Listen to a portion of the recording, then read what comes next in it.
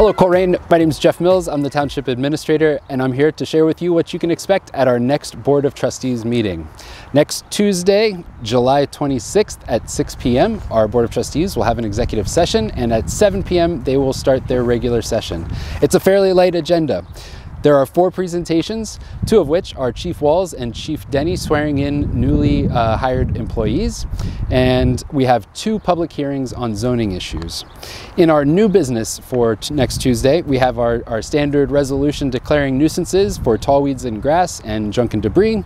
Uh, we also have a motion for consideration to authorize the purchase of materials and installation of landscaping items at the 275 Gateway, um, and uh, a motion for consideration for uh, the release of an RFP that'll add hundreds of trees to our neighborhood. Uh, in development, there are two resolutions for consideration uh, involving zoning amendments specific to the Stone Creek Town Center.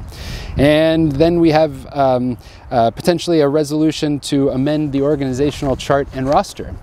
And that wraps up all of our new business for next Tuesday. We hope to see you there next Tuesday night, 7 p.m. Until then, stay safe, Colerain.